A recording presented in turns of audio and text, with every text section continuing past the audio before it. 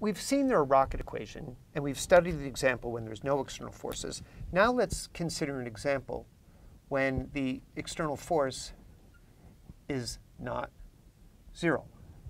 Well, one of our examples is just a rocket taking off in a gravitational field.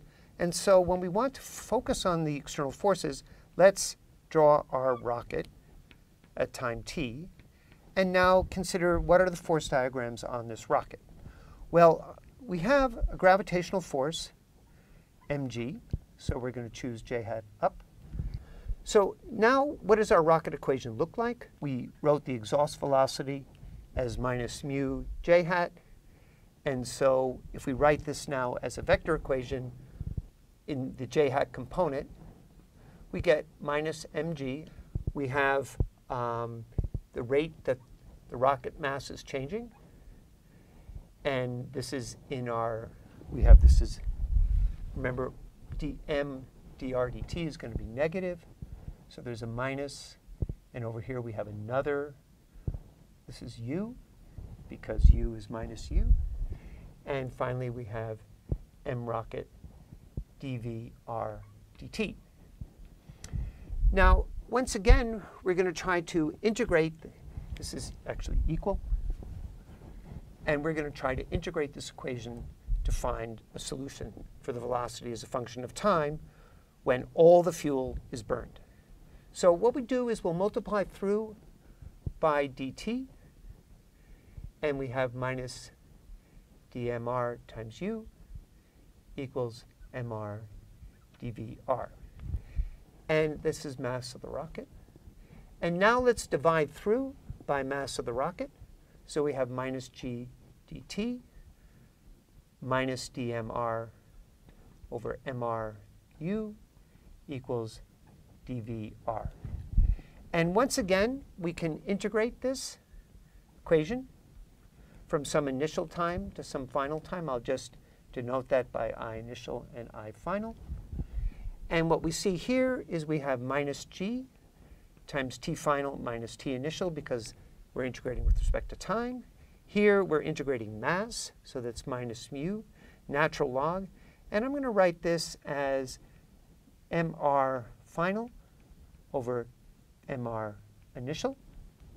And over here we have vr final minus vr initial. And let's just remove that time t.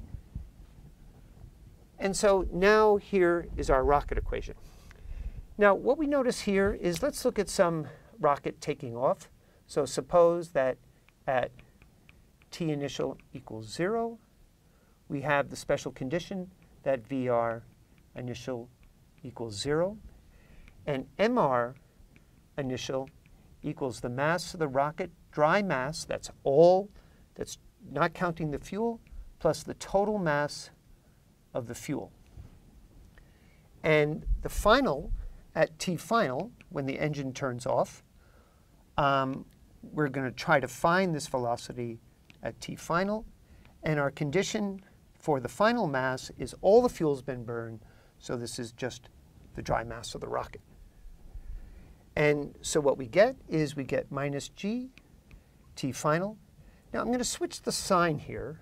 Um, so we have, um, if I invert the log, that will give a minus sign. And I have plus u log of mr of d plus mass of the fuel, that's the initial mass of the rocket, divided by just the dry mass, and that's equal to VR at T final. So one of the interesting questions that you might ask is, how fast should you burn the fuel? And what will that have to do with the final speed? So we can see from this expression that if you burn the fuel for a very long period of time, so T final is big, then this piece will diminish the final velocity. So if you want the fastest speed after you've burned the fuel, you want to burn the fuel so that T final is as short as possible.